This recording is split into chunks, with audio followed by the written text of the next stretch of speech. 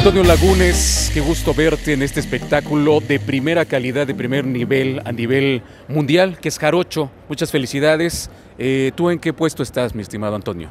Yo soy el gerente general del Fondo de Empresas de la Universidad Veracruzana, quien somos los que administramos el espectáculo Jarocho y los que producimos también el espectáculo Jarocho. Oye, este espectáculo, a pesar de que está celebrando 20 años, no ha tenido cambios.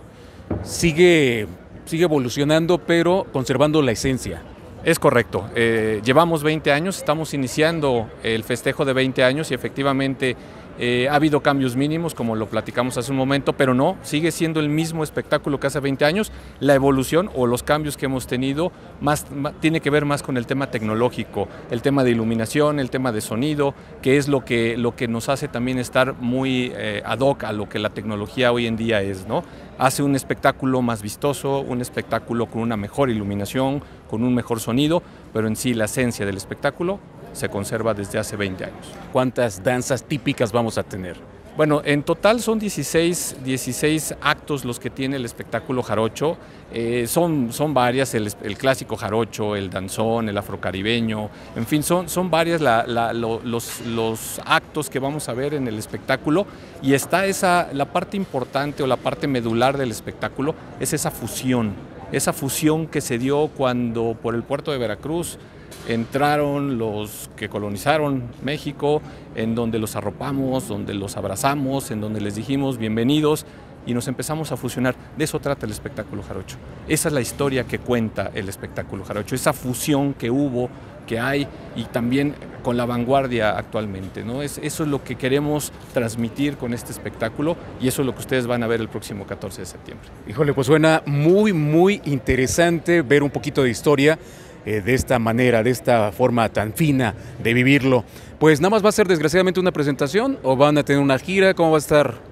Bueno, ahorita, ahorita tenemos esta presentación que ya, por supuesto, está, está programada el 14 de septiembre, pero sí estamos ya planeando una gira. Estamos ya haciendo planes para podernos presentar en diferentes partes de la República. En lo que resta de este año esperamos tener por ahí algunas presentaciones y el próximo año, por supuesto, arrancar eh, una gira. Pero sí, sí viene, el plan es que venga una gira importante para el próximo año.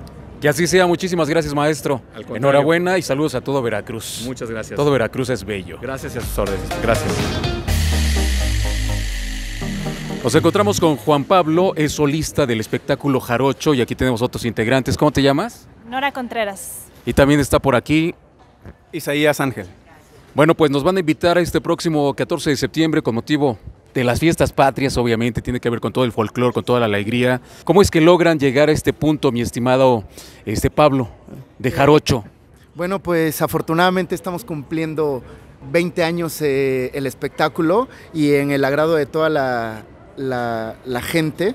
Este, ¿Qué más que celebrarlo aquí en el Auditorio Nacional este 14 de septiembre a las 8.30 de la noche? Danos un detalle acerca de, la vestimenta, la que tienes, ¿qué, es lo que trata de proyectar? La parte que traigo yo puesta es un vestuario negro donde buscamos plasmar el futurismo de la danza veracruzana. Qué rico, qué padre. Oye, y para participar en el espectáculo, ¿ustedes cuánto tiempo llevan en esta, en esta puesta?